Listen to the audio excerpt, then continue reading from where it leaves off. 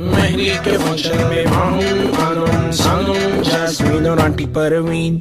Office के cabin में फहीम और काम और प्यून करीम। हमारे रॉक स्टार उस्मान अदनान और lead vocalist Arsalan kitchen expert Ghazal, उनकी बेटी कमल और लाउंज में बैठे अकमल। राना साहब और ड्राइवर वहाब। फोटोग्राफर राबिद सलीम। हमारे यारे यारे मॉडल जब भी।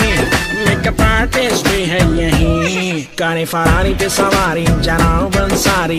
कॉलेज में करे मनमानी कामी और शानी। क्रिकेट के हैं जहाँ शहबाज और फराज। स्कूल में हमेशा लेट लेकिन है ये फ्रेंड्स लाला और इन सब के साथ साथ मैं भी पहनता हूँ सिर्फ़ सर्विस शूज़ क्योंकि इनके लिए और आपके लिए सर्विस के पास है कुछ खास।